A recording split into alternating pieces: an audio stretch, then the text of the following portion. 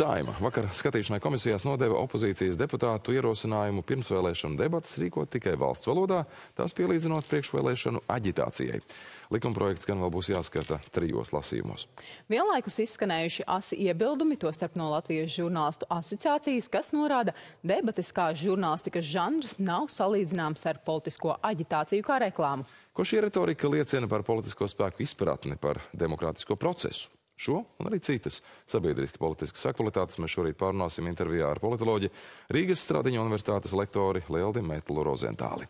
Labrīt! Labrīt! Varbūt iesākumā mēs tomēr atgrieztos pie šīs nedēļas eh, tāda skaļākā notikuma, kas bija pedagoģa pikets un sekojušās sarunas ar ministri par, nu, kā daudzkārt minēt, šo slodžu balansēšanas eh, modeļu nepilnībām vai, nu, kā skolotājs saka, apzināti pasliktinošiem apstākļiem eh, piedāvājumiem. Bija viegli saprast, kurš ir labais un kurš sliktais šajā strīdā vai disputā, kā jūs teikt? Nu es teiktu, ka te jau īsti nav tā viennozīmīgi pasakāms, kurš ir labais, kurš ir sliktais. Jo, protams, ka no vienas puses arotbiedrība ir tā, kurai vienmēr ir jācīnās par par vēl labāku, par vēl vairāk, par vēl izdevīgāku. Nu, tā pēc definīcijas labāk. Pēc definīcijas. Bet no otras puses politiķiem, protams, ir saprotot kopējo bildi, cik kuram viņi var iedot to naudiņu, jo, kā es saku, tas kukulīts ir viens, un uh, lai kā mēs viņu dalītu, kādam sanāk vairāk, kādam mazāk tajā brīdī, nu tad mums ir jāizšķirās, un attiecīgi politiķis iespējams vienmēr ir drusciņi tādā kontekstā sliktais, lai gan vienkārši tas ir viņa pienākums tā rīkoties. Bet, protams, cits stāsts ir laikam par šo te publisko retoriku, kas izskanēja no premjeras puses tādā uh, audzinošā tonī, es teiktu, un kas patiesībā bija nu, ļoti pārsteidzoši, ka tomēr viens no Latvijas augstākajiem politiķiem, premjers, var atļauties šādā te veidā runāt ar, uh, nu, es teiktu, atkal viens no nozīmīgākajām nozarēm, tātad izglītības nozares. Pārstāvjiem. Nu, lai kā tev kaitinātu, varbūt kaut kas, kas tev ir pateikts, lai kā tu justos, ka tu esi varbūt nepatiesi pat par kaut ko tā kā apsūdzēts, tev visu laiku kā politiķim ir jāsaklabā šis te vēsais prāts un jāspēj, jo vārdi, ko premjera teica, bija ļoti saturiski, loģiski. Un ja tas būtu pateikts pilnīgi mierīgā formā, iespējams, tas tiešām kādam liktu aizdomāties, nu, ka varbūt, ka nav tas vēlns tik melns, kā viņu mālē attiecībā uz to, ka, teiksim, nekas nav izdarīts.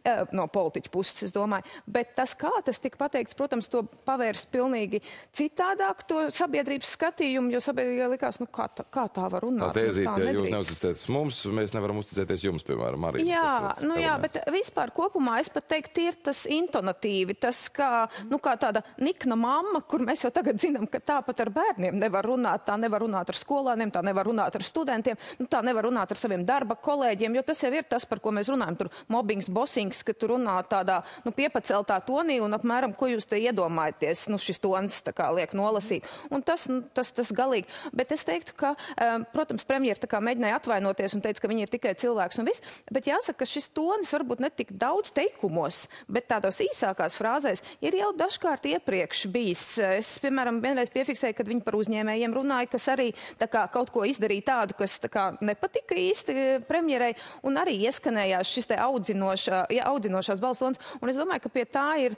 nu, būtiski šobrīd jāpiedomā un uh, jāsaprot, ka jāvar sevi nokontrolēt. Vai arī, ja tas ir kāds mediju teiksim, treniņa rezultāts, tad jāsaprot, kur šāda retorika, piemēram, politiķu tai pašās piesauktajās debatēs, kur viens politiķis cīnās ar otru, šāda, šāds balss tembrs ir pilnīgi pieņemams un saprotams. Savukārt tur, kur tu runā ar savu vēlētāju, nu, tur tā nevar atļauties šādi runāt. Mm -hmm. uh, pieminējāt debatas, droši vien šim jautājumam arī tad ķersimies uzreiz klāt. Eh, tik tiešām, nu, saimā gan vakar bija vairāki balsojumi par tādiem jutīgiem jautājumiem, eh, tostarp arī šīs te izmaiņas priekšvēlēšanu aģitācijas likumā, eh, kas debates pielīdzina politiskajai aģitācijai.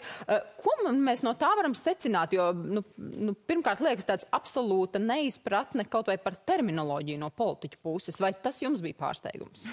E, nu, redziet, jā, protams, šis ir priekšvēlēšanu laiks, un mums ir skaidrs, ka no vienas puses e, nu, daļa politisko spēku ar kaut kādām rīcībām mēģina piesaistīt savu vēlētāju uzmanību. Un es domāju, ka šis te, e, nu, diezgan skaļi iz, izvērtušais skandāls par to, vai vajag vai nevajag debats Krievu valodā, viņš, protams, nu, vairāk nacionāli orientētiem politiskiem spēkiem paralēli tai loģiskajai debatei par to tiešām, kā mēs skatāmies uz valodas jautājumiem un ja mēs mēs tur daudzos segmentos atsakamies no krievu valodas, tad šī diskusija ir ļoti pamatota. Bet tas veids, kā pēc tam, lai it kā nu, to situāciju risinātu, uh, tas, tas, ka mēs klasificējam pēkšņi debatas kā priekšvēlēšana aģitāciju, jo lūk, tā mēs varam noteikt valodu, kurā viņas var notikt. Nu, tas instruments tā kā liekas neloģisks uh, priekš tās problēmas, ko tu gribi atrisināt, jo nevienmēr nu, tā kā mērķa vārdā tu vari izmantot jebkurus līdzekļus, ja tie līdzekļi būtībā sagrauj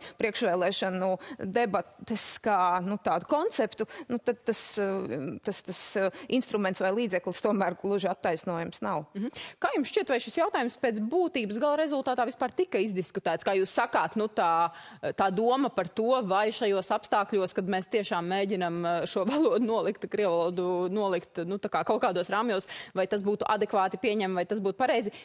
Vai mēs atradām kopīgi atbildus to, vai tas skaļais tracis vienkārši to visu aizēnoja? Un, protams, arī droši vien Latvijas televīzijas krīzes komunikācija nu, neparādīja sevi labā līmenī. Nu, acīm redzot, tur kā uh, atkal mēs izgājām uz tādu, teikt, konfliktu, varbūt, kuru uzreiz no vienas puses bija tāda, uh, teiksim, no sabiedrības puses un no teiksim, aktīvistu grupu puses bija tāda ļoti asa reakcija par Latvijas televīzijas rīcību, un savukārt no Latvijas televīzijas puses sekoja tāda ļoti asa aizsarga reakcija, nevis tāda paskaidrojuma, bet atkal tāda nu, ļoti asi pretī reaģēja. Un, līdz ar to, protams, ka tas vairāk izvērtās tādā nu, savstarpējā tā kā, konfliktā, kur tas dialogs mazāk veidojās.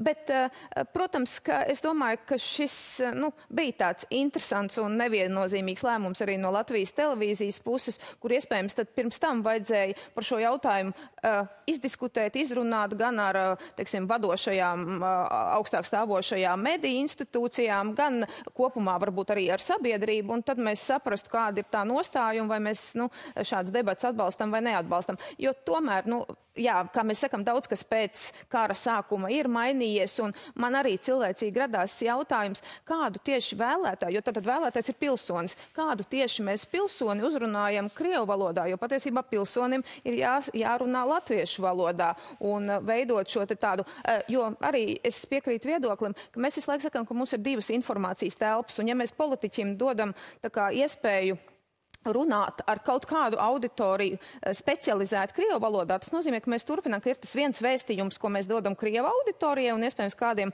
politiskiem spēkiem viņš tiešām ir arī ļoti orientēts šo Krievu auditoriju, un tad mēs veid, turpinām veidot šo divu uh, informatīvo telpu konceptu, kas nebūtu tā, ja mēs iespējams pieļautu tulkojumu, proti, ka mums vienkārši ir vai nu sinhronais tulkojums vai titri pēc tam, kas... Beig beigās tas viss tomēr ir aizved līdz jautājumam, par ko jūs minējāt arī premjeras kontekstā un izglītības kontekstā par to, kā mēs spējam cieņpilni runāt par šo viens otru dzirdēt, nevis ar kliekšanu kaut jā, ko atrisināt. Bet, nu, tas tā. arī vēl izmet. Es gribēju par vakardienas vēl saimas lēmumiem pavaicāt. Viena lieta bija par Reizeknas domas atlaišanu, mhm. -huh. otrs par šo te mm, politisko debašu un aģitācijas pielīdzināšanu. Nu, tur īsti neiezīmējās tāds, um, kā mēs teikt, koalīcijas balsojums. Un to vieni par, vieni pret, vieni vispār nebalso.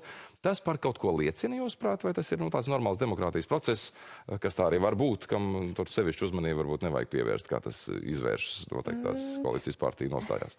Nu, atkal, redziet, priekšvēlēšana procesā, kas mums ir jāpatur prātā, ka šobrīd mēs esam pavisam tuvu Eiropas parlamentu vēlēšanām, tomēr katram politiskajam spēkam ir svarīgi iezīmēt to savu kā, unikālo pozīciju vēlētāju acīs. Jo citādi, ja mēs visi esam tādi ļoti līdzīgi, tad vēlētājiem arī nu, tā ļoti plūstoši tā izvēle var tā pārvietoties no viena politiskā spēka pie otra. Tad nerakstīt un, noteikumi, kurus ievēro visas puses, un katra savu seju taisa. Jā, tieši tā, katra taisa savu seju, cits pa nacionālo līniju, kā saka cits pa reģionālo līniju, jo tomēr mums jāsaprot, ka ZZF vēlētājs ir, nu, tomēr arī daļai tradicionāli mēs sakam reģionu vēlētājs, un līdz ar to viņi iezīmēja par Reizekni runājot, ka viņi tomēr tā kā, nu, ieklausās un uh, netik viennozīmīgi tā ātri slauka ar to slotu, to reģionu situāciju, bet vairāk tā kā mēģina saprast šo reģionu situāciju. Nu, tā kā es domāju, ka tā ir tāda savas unikālās vietas, lai es atšķiros kopējā spektrā.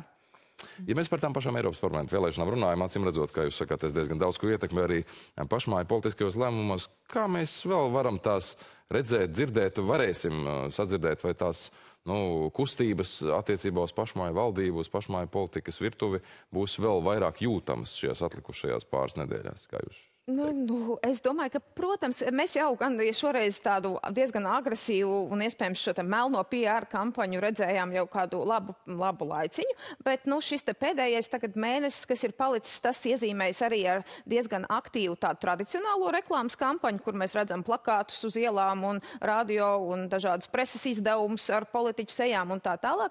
Un, protams, kā arī politiskajā, nu, tādā ikdienā saimas un valdības darbā noteikti, ka politiskie spēki, nu, kā jau es teicu, mēģinās katrs uh, parādīt, ar ko tad viņi ir īpaši un kāpēc tieši viņus vēlētājiem vajadzētu izvēlēties. Nu, noteikti, ka katrs politiķis šajā laikā domā par vēlēšanām, lai gan varbūt pat uh, saka, ka nedomā, bet pilnīgi noteikti domā. Jā, nu skandāliem laikam ir tāda daba vispirms uzvirmot ar lielu spēku un tad atkal noklust. Te, protams, varam pieminēt arī bijušā premjera Krišāņa Kariņa uh, speciālo avio reisu lietu. Kā jums šķiet, vai, vai tagad uh, ir pareizi, ka tas ir. Nu, jau aizmirsts skandāls ir nācis jauns, un, un principā šobrīd tas tikai paliek vairs jautājums par tiesības sargājošo iestāžu kompetenci un arī tādā morālajā līmenī pirms Eiropas parlamenta vēlēšanām vairs nav vērts to cilāt. Nu, jāsaka, ka laikam jau tieši tiesību sargājošās institūcijas ir tās, kas var saprast, cik katrā lietā ir skandāls un cik tur ir pēc būtības problēma un kur ir pēc būtības šī problēma. Jo nu, mēs redzējām, ka vienā brīdī par vienotību vēlās ļoti daudz mhm. dažādi, dažādas apsūdzības, bet, protams, mēs nu, klāt nevienā brīdī neesam stāvējuši un līdz ar to no vienas puses dažkārt šādas apsūdzības izskatās tādas ļoti, nu, ļoti pamanāmas, bet no otras puses ir jautājums par to, uh, nu, cik tiešām un kāda tur tā situācija realitātē ir bijusi. Un tāpēc es domāju, ka ir pareizi, ka mēs sakam, ka tiesības sargājošās institūcijas tad mums dos to atbildi, kāda ir tā faktiski. Jo, protams, ka emocijās mēs varam visu kaut ko domāt, bet kā jau tagad pēdējās dienas ir atskanējis daudz aicinājums, nu, ka tomēr pirms vēlēšanām vajag ne tikai emocijas um, likt priekšplānā, bet tomēr nu, arī tā mēģināt racionāli paskatīties uz to, ko mēs gribam nākotnē sagaidīt, piemēram, no Eiropas parlamenta deputātiem. Un līdz ar to, kādas kvalitātes mums vajadzētu uh, redzēt tajos cilvēkos, par kuriem mēs uh, plānojam plānojam balsot. Mm -hmm. Un pavisam īsi noslēgumā, jā, nu tā kā skatoties uz tiem reitingiem uh, iespējamiem, kā var, varētu beigties šīs vēlēšanas, vai jūs prognozējat, ka iespējams varētu būt mēģinājumi valdībā ieviest kādas izmaiņas, ja būs tā, ka, piemēram, Nacionālā apvienība pārliecinoši uzvarēs Eiroparlamentu vēlēšanās? Mm, eh, es domāju, ka tā uzreiz pateikt, ka tas ir tāds eh, momentā katalizators, ka kaut kas mainīsies valdībā. Eh, es domāju, ka nē, jo tā uzvara jau arī visdrīzāk būs piemēram ar divām vietām. Jo, kā mēs redzam šo te procentuālo sadalījumu, tad šodien stāsts ir par to, kurai partijai būs divas deputātu vietas un iespējams, ka visiem pārējiem būs viena deputāta vieta. Līdz ar to tas uzvaras, teiksim, uzvaras saldā garša nav varbūt tik, tik, tik liela. Un es domāju, ka tas tas vairāk ir atkarīgs no tā, eh, kāds šobrīd ir noskaņojums pašā koalīcijā iekšā. Un nav tādu indikāciju, ka šobrīd koalīcija būtu nu, uz tādas šķelšanās robežas. Un līdz ar to domāt, ka uzreiz Eiropas parlamenta rezultāti kaut kā ar to korelēs, es domāju, ka nav pamata. Nu, redzēsim, šis tiešām ir dinamisks process un interesants. Tieši tāpēc arī politikā kaut ko jūs arī vērojat un komentējat. Paldies, ka radāt iespēju pie mums atnākt šorīt un nu, tā pasijāt tos notikumus, kas svaigi bijuši sabiedriski politiskajā arēnā. Paldies par interviju. Paldies!